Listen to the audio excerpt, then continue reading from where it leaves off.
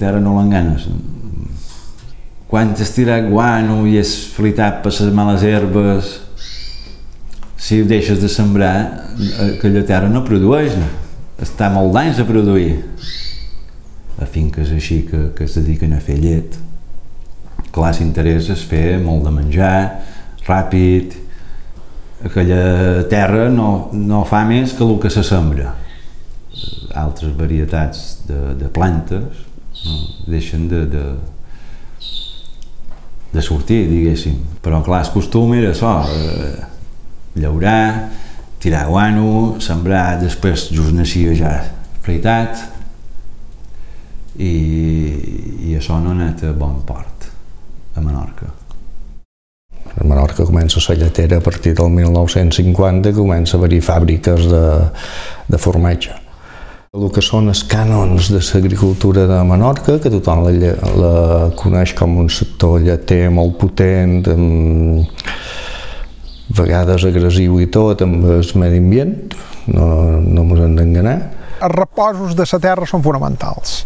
O sigui que no és allò de dir, si tu cada any la, la llaures i cada any la sembres tot, se cansa i en canvi aquests, aquests descansos de, de l'alternància és el que fa que se regenera perquè tot el que queda de, de rostolls i d'herbes seques i carcs, si tot podies dir una agricultura ecològica té el hàndicap de que en estiu hi ha carcs però allò, allò es podreix i torna a la terra no és una cosa que influesqui sinó que tot és un cicle vital de vida i que fa que les coses, quan se podreixen, tornen donar vida a la següent planta i s'han de respectar. Duim el lloc en, en tres cementers.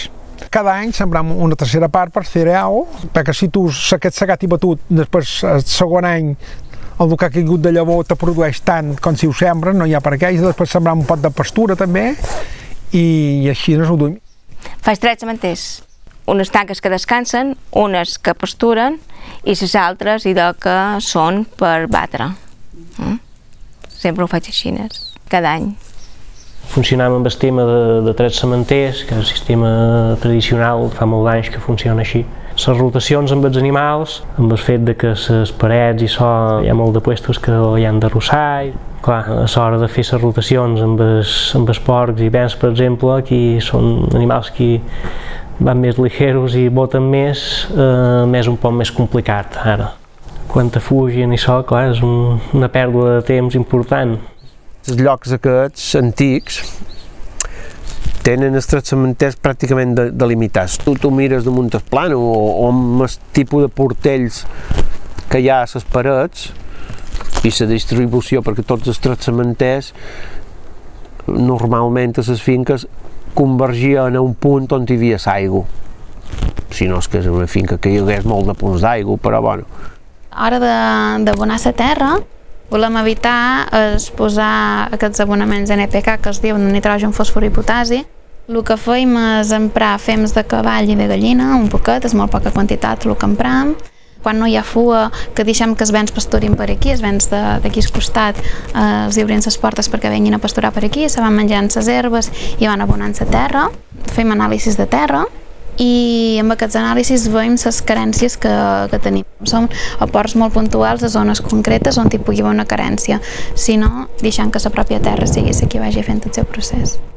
Per augmentar la fertilitat el que fèiem és, quan cap un cultiu o, o so, en vez de treure el cultiu i fer un, un compost, per exemple, que tampoc no estaria malament, el que fèiem és triturar-ho en la terra i fer un adob en verd, que diguem i en quant a els adobs, han anat millorant les instal·lacions i les màquines per poder aprofitar, fer un aprofitament el màxim de bé dels fems dels animals, dels purins i tot això.